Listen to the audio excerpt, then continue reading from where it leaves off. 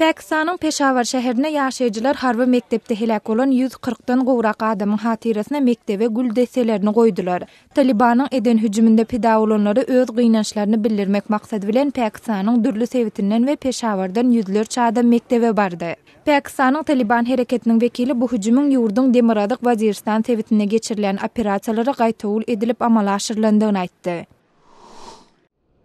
Owganystanyň paýtagty Kabulda janyndan geçen bombaçynyň eden hüjüminde bir polisiýa ofiseri öldi we azyndan iki adam ýaralandy. Öz ulagyna partladyjy serişdeleri ýerleşdiren bombaly hüjümçi ulagyny polisiýanyň golaýynda saklap partlatdy. Maglumatda hüjümiň planlaşdyrylandygy barada öňünden polisiýa habaryň gelip gowşandygy aýdylýar.